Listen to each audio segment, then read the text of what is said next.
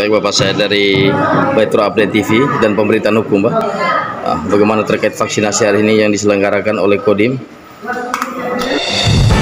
Dari Studio 1 Metro Update TV Jakarta, inilah Breaking News.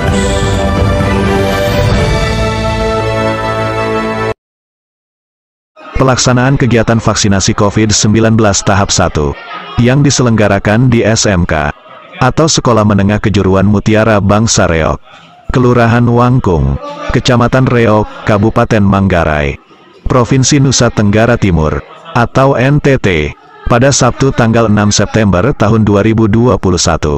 Berjalan sesuai prokes atau protokol kesehatan. Kegiatan vaksinasi merupakan program Komando Distrik Militer atau Kodim 1612 Kabupaten Manggarai. Pelaksana tugas atau PLT Kepala Dinas Kesehatan Kabupaten Manggarai, Nobertus Burhanus, mengatakan bahwa Kodim 1612 Manggarai mensponsori kegiatan vaksinasi untuk 500 warga, termasuk anak-anak sekolah. Kegiatan vaksinasi juga merupakan upaya turut menyukseskan program pemerintah guna meningkatkan kekebalan tubuh komunitas dan individu masyarakat. Selain itu, merupakan upaya untuk meminimalisir virus COVID-19 yang sedang menggerogoti kehidupan manusia. Oleh karenanya, sasaran vaksinasi juga diberikan kepada anak-anak sekolah. Kata Nobertus Burhanus.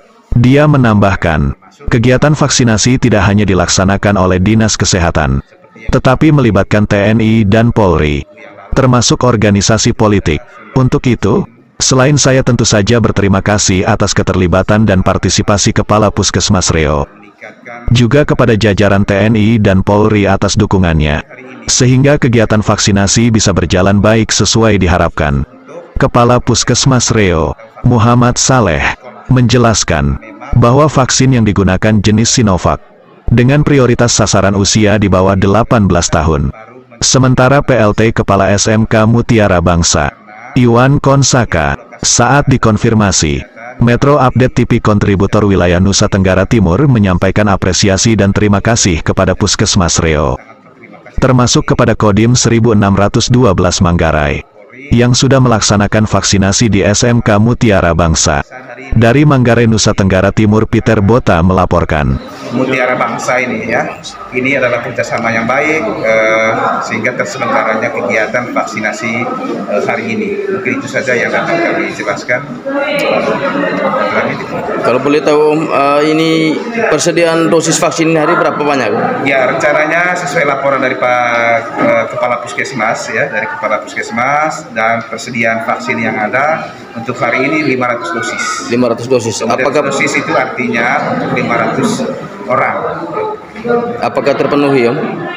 siap pasti bisa Bisa. bisa terpenuhi sesuai dengan kita persediaan vaksin kita untuk 500 orang ini. Ini vaksin jenis apa ini hari Om? Kepala, Ini hari eh, vaksin yang kita gunakan untuk coronavirus atau vaksin Sinovac. Jadi itu untuk